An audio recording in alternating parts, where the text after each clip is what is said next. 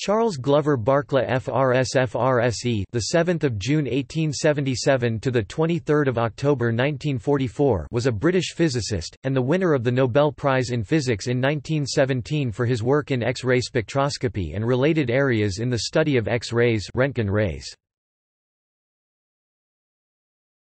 Topic: Life Barkla was born in Widnes, England, to John Martin Barkla, a secretary for the Atlas Chemical Company, and Sarah Glover, daughter of a watchmaker. Barkla studied at the Liverpool Institute and proceeded to Liverpool University with a County Council scholarship and a Bibby scholarship. Barkla initially studied mathematics but later specialised in physics under Sir Oliver Lodge.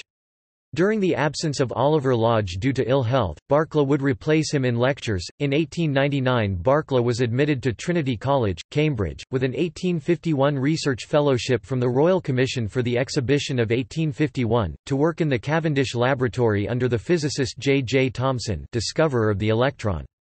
During his first two years at Cambridge, Barkla would, under the directions of Thomson, study the velocity of electromagnetic waves along wires of different widths and materials. After a year and a half at Trinity College, Cambridge, his love of music led him to transfer to King's College, Cambridge, in order to sing in their chapel choir. Barkla's voice was of remarkable beauty and his solo performances would always be fully attended. He completed his Bachelor of Arts degree in 1903, and then his Master of Arts degree in 1907. He married Mary Esther Cowell in the same year, with whom he would have two sons and one daughter. In 1913, after having worked at the universities of Cambridge, Liverpool, and King's College London, Barkla was appointed as a professor of natural philosophy at the University of Edinburgh in 1913, a position that he held until his death. Barkla made significant progress in developing and refining the laws of X-ray scattering, X-ray spectroscopy, the principles governing the transmission of X-rays through matter, and especially the principles of the excitation of secondary X-rays. For his discovery of the characteristic X-rays of elements, Barkla was awarded the Nobel Prize in Physics in 1917.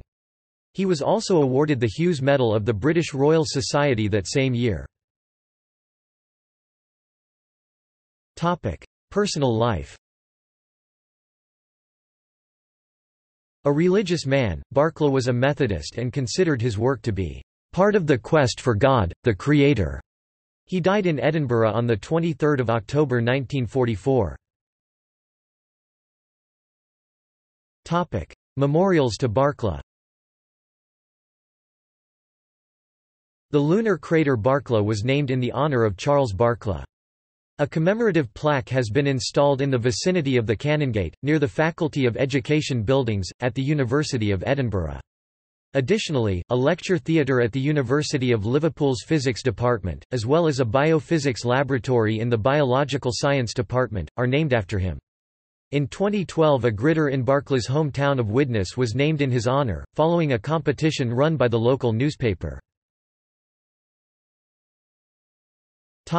References External links Biography in Nobel website. Obituary. His discovery of the characteristic Röntgen radiation of the elements. Biography at Encyclopedia. Com